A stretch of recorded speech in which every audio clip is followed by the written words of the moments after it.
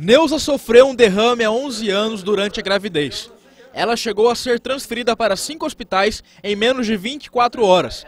A criança nasceu prematuramente mais saudável. Já a mãe perdeu o movimento das pernas. O marido não pôde mais trabalhar, pois passou a assumir as obrigações da casa, além de cuidar da filha e da mulher. Eu não posso nem trabalhar registrado, porque quando você arruma uma pessoa para cuidar dela, quer um salário, mais que um salário, né? E fazer o quê? Eu gostaria de ter assim uma ajuda de, de, todas as pessoas aí dar uma mão para mim. A rotina de Eduardo começa às 5 horas da manhã, quando Neuza precisa trocar a fralda. No mínimo, são necessárias quatro fraldas descartáveis todos os dias. Com a intenção de dar um pouco menos trabalho para a família, Neuza sonha em ter uma cadeira de roda elétrica, mas não tem condições para comprar uma.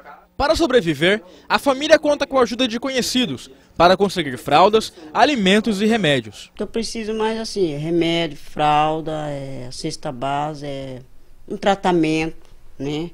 Médico nos postos para poder, né? Para poder passar por médico. Cada seis, seis meses eu tenho que passar por médico, fazer um, um cultura da, o exame de urina, exame de sangue, cada seis, seis meses tem que fazer.